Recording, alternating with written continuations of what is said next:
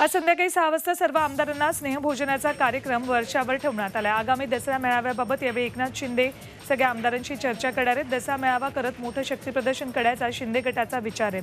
या स्नेहभोजनाच्या कार्यक्रमादरम्यान शिंदे आपल्या सगळ्या आमदारांशी चर्चा करणार आहेत. निवडणूक आयोगाच्या सुनावणीला स्थगिती देऊ नका अशी विनंती शिंदे गटानं सुप्रीम कोर्टाला केली आहे. शिंदे गटाकडून सुप्रीम कोर्टात रिट याचिका दाखल केली केंद्रीय निवडणूक आयोगाची सुनावणी सुरू ठेवावी अशी मागणी सुप्रीम कोर्टात शिंदे गटानं केली आहे. सुप्रीम कोर्टानं त्वरित सुनावणी घ्यावी निवडणूक आयोग प्रक्रियेसंदर्भात निर्णय द्यावा अशी याचिका करण्यात आली मुंबई महापालिका वगळता राज्यभरातील अन्य बावीस महापालिकांच्या निवडणुकांमध्ये बहुसदस्यीय प्रभाग रचनाच लागू राहणार आहे. कारण या संदर्भातील राज्य सरकारचा सुधारित कायदा वैध ठरवण्याच्या मुंबई हायकोर्टाच्या निर्णयाविरोधातील अपील सुप्रीम कोर्टाच्या खंडपीठानं फेटाळलंय.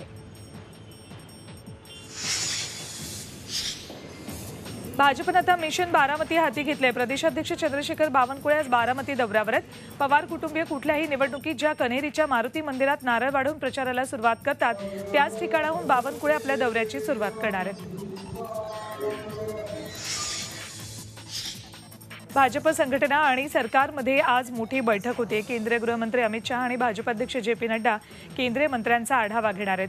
दोन हजार चोवीसच्या निवडणुकीच्या पार्श्वभूमीवर ही बैठक घेणार असल्याची माहिती आहे. एकशे चव्वेचाळीस कमजोर जागांबाबत भाजप रणनीती आखत आहे राज ठाकरेंना दसरा मेळाव्याला शिंदे गटाकडून आमंत्रण मिळण्याची शक्यता नाही असं शिंदे गटाच्या एका वरिष्ठ नेत्यानं म्हटलंय. मात्र शिवसेनेच्या काही जुन्या वरिष्ठ नेत्यांना मेळाव्याला आमंत्रण असेल अशी शक्यता आहे. मुख्यमंत्री शिंदे यांनी गेल्याच आठवड्यात शिंदे गटाच्या दसरा मेळाव्यासाठी बैठक घेतली तर दसरा मेळाव्यासाठी छत्रपती शिवाजी महाराज पार्क मैदानाची रस्सीखेच सुरू असतानाच आता शिंदे गटानं प्लॅन बी आखलाय. शिंदे गटानं बीकेसीतल्या एम एम आर डी मैदानासाठी सुद्धा अर्ज केलाय.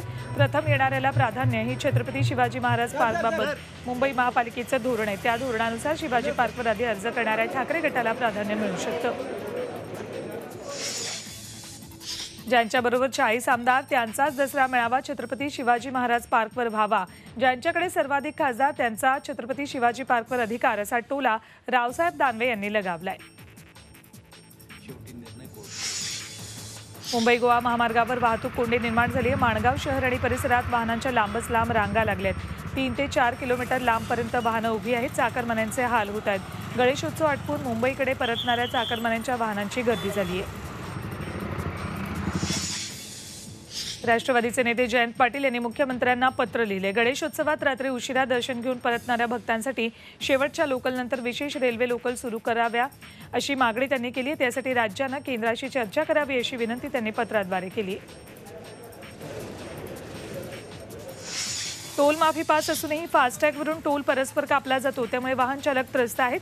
फास्टॅगबाबत परिपत्रकात कुठलीही स्पष्टता नाहीये. त्यामुळे हा गोंधळ उडालाय. सरकारनं सत्तावीस ऑगस्ट ते अकरा सप्टेंबरपर्यंत कोकणात जाणाऱ्यांसाठी टोल माफ केलाय. पण यात फास्टॅगबाबत काहीही स्पष्ट केलेलं नाही. महामार्गावरील कार अपघातानंतर गाड्यांच्या सुरक्षेचा प्रश्न ऐरणीवर आलाय. त्यातच भारतातील दहा टक्क्याहून कमी कारना सहा एअरबॅगवर असल्याची सहा एअरबॅग असल्याची माहिती समोर आली आहे सहा एअरबॅगचं सुरक्षा कवच केवळ हाय कारनाच असल्याचं उघड झालंय. देशात बहुतांश कार मॉडेल्सना दोनच एअरबॅग्ज आहेत. ग्राहकांकडून स्वस्तातल्या कारची खरेदी केली जाते पुणे मुंबई एक्सप्रेसवेवर उर्से टोल इथे राणे कुटुंबियांच्या कारचा किरकोळ अपघात झाला. या कारमध्ये नितेश राणेंची पत्नी मुलं आणि नातेवाईक होते. उर्से टोल नाका इथे टोल भरण्यासाठी राणे कुटुंबीय प्रवास करत असलेली कार रांगेत थांबली होती. तेव्हा पाठीमागे टोल भरण्यासाठी थांबलेल्या ट्रकनं राणे कुटुंबियांच्या कारला किरकोळ धडक दिली. परभणीमध्ये मनसे शहराध्यक्ष सचिन पाटील यांची हत्या करण्यात आली. वसमत रोडवरच्या शिवरामनगर इथे ही घटना घडली.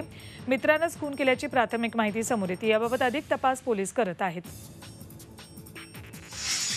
पुण्यातल्या ससून रुग्णालयामध्ये तुषार हंबीर या गुंडावर जीवघेणा हल्ला झालाय. खून आणि अनेक गंभीर गुन्ह्यांमध्ये तुषार हंबीर. हा गेल्या अनेक वर्ष येरवडा कारागृहात शिक्षा भोगत होता. दहा दिवसांपूर्वी तब्येत बिघडल्यानं त्याला उपचारासाठी ससून रुग्णालयात दाखल केलं होतं. हल्ला करत असताना पोलीस कर्मचारी अमोल बगाड यांनी हल्लेखोरांना अडवण्याचा प्रयत्न केला. या प्रयत्नात बगाड गंभीर जखमी झालेत. जळगावातल्या चोपडा तालुक्यात अमानवीय पद्धतीनं गुरांची वाहतूक करणारा ट्रक पकडलाय. आयशर ट्रकमध्ये पस्तीस गुरं अक्षरशः कोंबली होती. यात अकरा जनावर जनावरांचा गुदमरून मृत्यू झाला. मोठ्या शिताफीनं पाठलाग करत पोलिसांनी ट्रक वेले गावाजवळ पकडला. मात्र चालकांनी रात्री अंधाराचा फायदा घेत फरार झाले. पुण्याच्या पी एम पी एल बसमध्ये चक्क स्पायडरमॅन दिसला.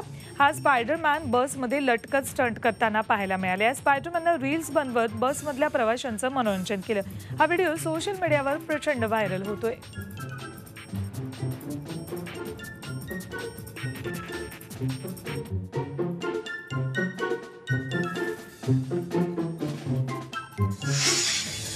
गोंदिया जिल्ह्यात गोरेगाव तालुक्यातल्या हलबीटोला गावातल्या विहिरीत एक अस्वल पडलं. ग्रामस्थांनी तात्काळ वनविभागाला पाचारण केलं. वनविभागानं मोठ्या कसरतीनंतर अस्वलाला विहिरीतून बाहेर काढलं आणि जंगलात सोडून दिलं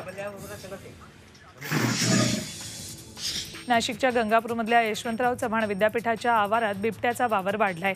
रात्रीच्या सुमाराला मानवी माननीय कुलगुरू निवासाजवळ बिबट्यानं कुत्र्याच्या पिल्लावर हल्ला चढवला. ही घटना सीसीटीव्हीत चित्रित झाली. विद्यापीठ प्रशासनानं याबाबत वनविभागालाही माहिती दिली.